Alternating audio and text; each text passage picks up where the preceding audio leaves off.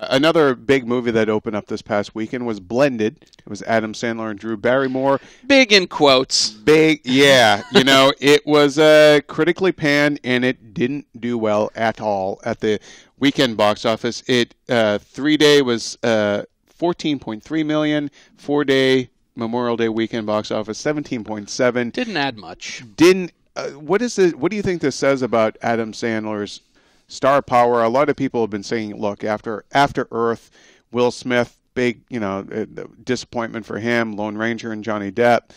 But you know, Sandler, the Grown Ups movies did well. But uh, are, are we looking at sort of and this will be a big test this weekend with Maleficent and Angelina Jolie, but are we looking at does star power matter anymore? Yeah, we've talked a lot about this lately, and we kind of I think we've come to the conclusion that characters are the new stars. Um, so you and get brands, you know, and really. brands, yeah, characters and brands are the new stars, and you people will go based on a brand, like you're saying Marvel Studios. Oh my God, I want to see that movie because everything they've made has been amazing, except for Iron Man Two. Um, I still I think it's okay. It's but- fine. It's fine. It's just kind of boring in places. But um, and I, I know there are plen- plenty of people who would also argue that Iron Man three disappointed them, but that, I'm not one of them, obviously. I'm not either, but the, But I will contend people were disappointed in that movie. But so, but I I- I think things like this, Angelina Jolie. Maybe maybe there is a little bit of appetite for her because she's kind of been out of big movies for a while. Well, yeah, I, I was trying to think earlier, like you know, when was the last big movie that she was in? And I was having trouble coming up with one. Yeah, I mean, Yeah. she's been doing a lot of personal life stuff, and you know, Some indie films she's Indie directed films, and yeah. So I mean, I think she's been taking time off from the big tentpole movies, and that's cool. But uh, I think it will be a test. We'll see if she has that pull. I also think it's Disney and Maleficent. Enough people know that story that that might be interesting. So I, I do wonder if it'll, it'll if it'll reap the benefit of something like Frozen, where you took what was essentially the antagonist of the piece and and found a sympathetic way in. Um, I saw Maleficent. Uh, you you haven't. I haven't yet. Um, I didn't really like the movie. I think she's fine. She's the show. I agree with uh, Roth Cornet, who is on vacation. That's why she's not here. Uh, I agree with her review that it really is the Angelina Jolie show, and you're the only reason why you stay invested in it in any way is because of her. But um, you know, I think I think the movie will probably do well, and we can get to it at the end of the podcast. But but to circle back to Sandler, do you think does he still have that box office clout? I think he can. I think he can bring people, but I think it has to be the right project. And I don't think it's necessarily him as Adam Sandler anymore. Yeah. I think it's him plus whatever project he's doing.